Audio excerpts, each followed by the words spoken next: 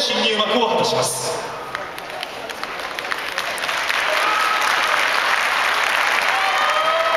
平成17年5月場所で11勝を挙げて初の三賞関東賞受賞翌7月場所は大活躍の場所でした。当時左を差して右上手を引いたら最強と言われた海洋にその左勝負し会心の勝利を得ると。この場所はそれから千代大会白鵬琴光出島といった相撲巧者を撃破し10勝を挙げ2場所連続の3勝受賞。この時は技能賞を獲得しました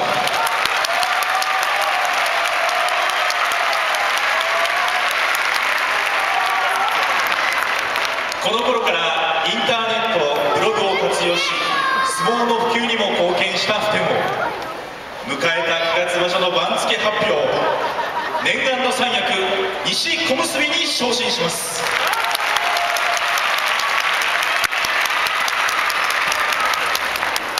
迎えた平成17年9月場所。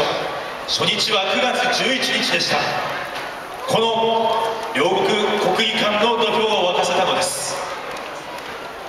東方から横綱の朝青龍が土俵に上がります。大関を3場所で通過しこの年横綱に昇進した目下敵なしの横綱。一方西方は新小結普天王。三役昇進初日の相撲思いっきり行くしかありません。土俵中央行司は31代木村庄之助。行司軍配帰りました。立ち合い両者頭から当たっていきます。左を差しに行く普天王自分の形を作りたい。しかしそうは簡単とは作らせない朝青龍。右上手を使いました。普天王半身右上手が取れない。朝青龍隙をついて前に出る。一気にやります普天王の右足徳俵にかかっている普天王粘る朝青龍寄る土俵際の攻防普天王右から投げを打ちました今度は朝青龍がピンチ朝青龍が残して両者土俵中央に戻ってきました力と力がぶつかり合いますさあここから普天王が仕掛けた普天王前に出る正面に向かって寄っていく朝青龍危ない普天王寄る横綱を西の土俵際追い詰めた普天王寄る寄る寄る寄り倒し横綱に初日いきなり土がつきました天王気迫あふれる表情国技館には座布団が乱舞しています新小結普天王最強の横綱朝青龍を破りました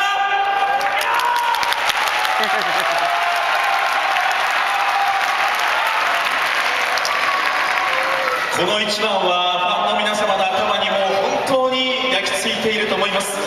ここから一気に大関横綱と番付は駆け上がっていくだろうそう皆が思っていましたが多くの怪我に悩まされた普天王自ら土俵人生にピリオドを打つことを決めました。まだまだやれるよ。もう一回頼むよ。そういったファンの声もたくさんありましたが平成23年5月4日に現役引退を表明しました。通算成績326勝347敗14球。来る日も来る日も相撲のことを考え続けた普天王とにかく応援してくれているファンが待っている。そのことを思い続けた普天王どんなに苦しい場面でも絶対に逃げず真っ向勝負をし続けた普天王30歳という若さ現役生活8年での引退は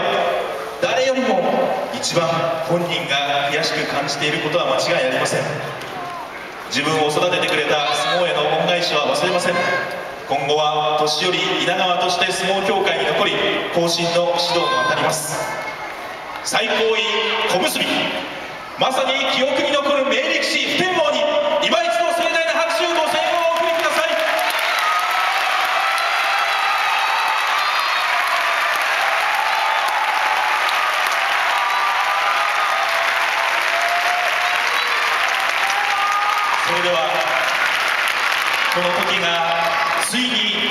やってまいりました。この8年間誇りを持ち共に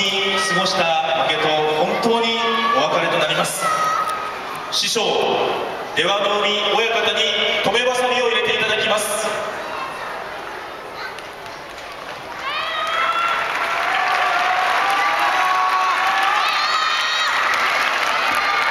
出羽海親方と天王関まさに結ばれし運命のもとに導かれた出会い。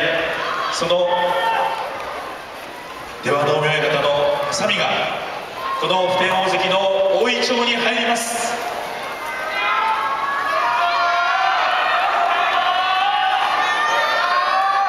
この一つ一つのハサミの音が今普天王の耳に届いていることでしょう。今普天王が大井町に別れを告げました苦楽を共にしてきた負けに別れを告げた天王そして師匠ではの名方に皆様盛大な拍手をお願いいたします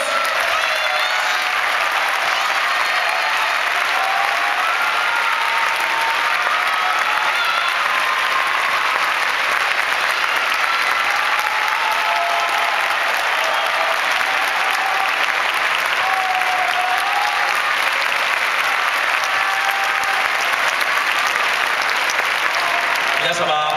今留めばさみを入れていただきました師匠出羽の親方に今一度大きな拍手を持ってお送りくださいませ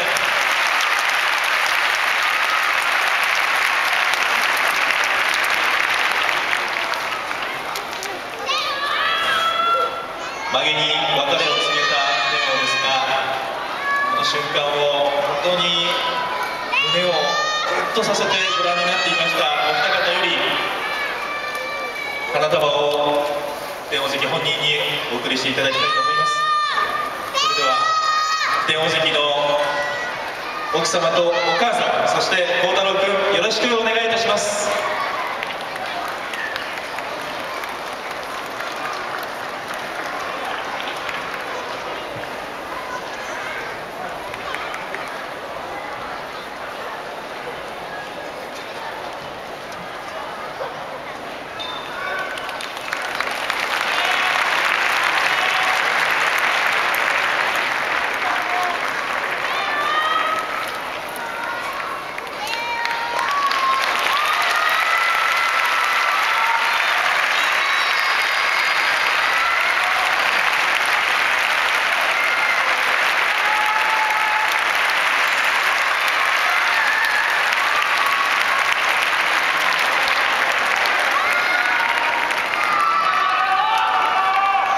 幸夫人お母様そして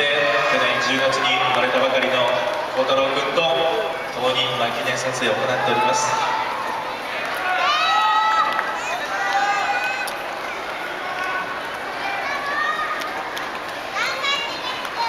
本当にこの奥様とお母様の支えがあって手を関ここまで相撲を続けることができました。皆様大きな拍手をお願いいたします。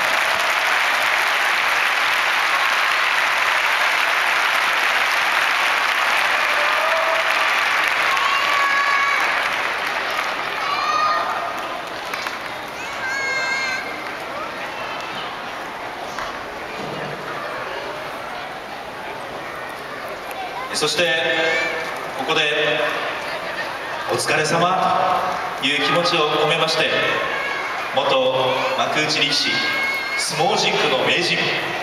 今は歌手として幅広く活躍をなさっております大師信之様がお祝い甚句を送るために駆けつけてくださいました。大師様どうぞご入場ください。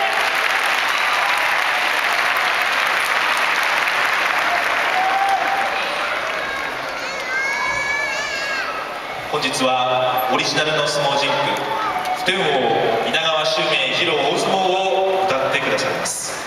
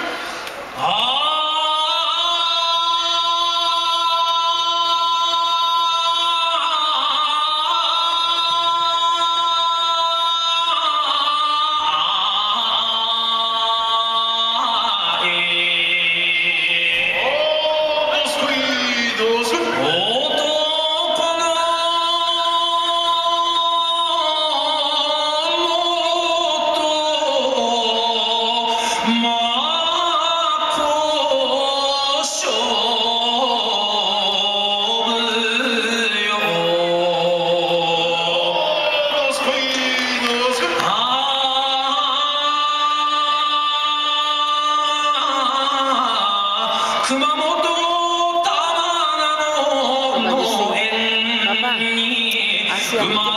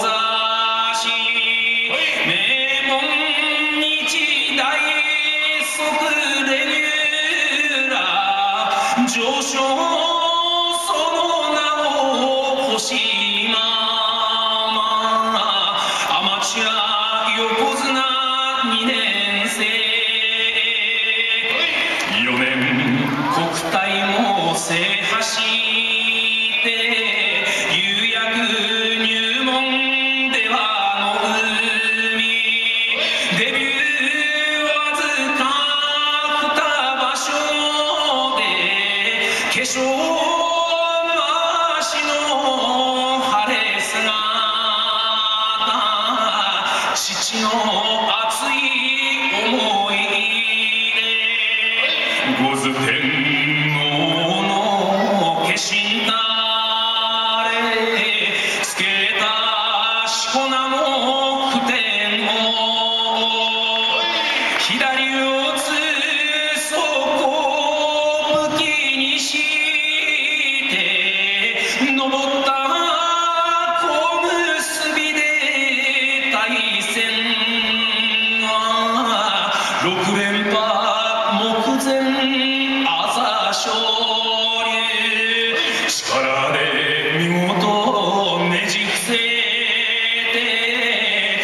皆さん勝ちましたと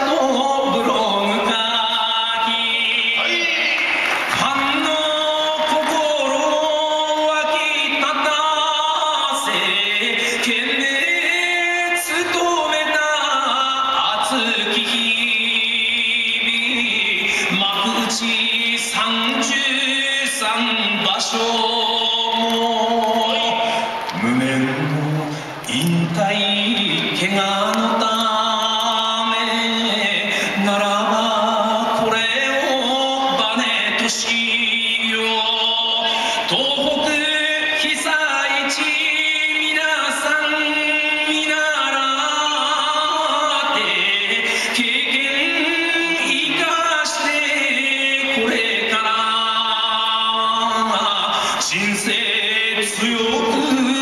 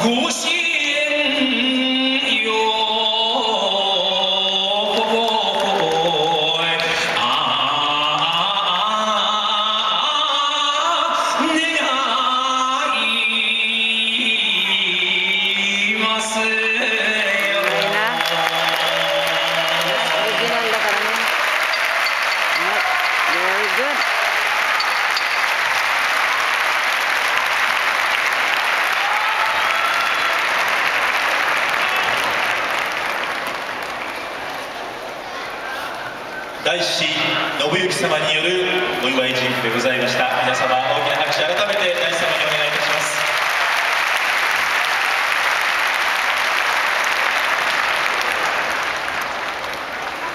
先ほど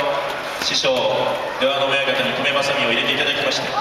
8年間苦楽を共にしてきた負けと別れを告げた普天王本人本日国技館にお越しの皆様へまた相撲界初の試みとして本日はインターネットによる中継も行っております。この日を共にお迎えくださった皆様に普天王本人よりご挨拶を申し上げます。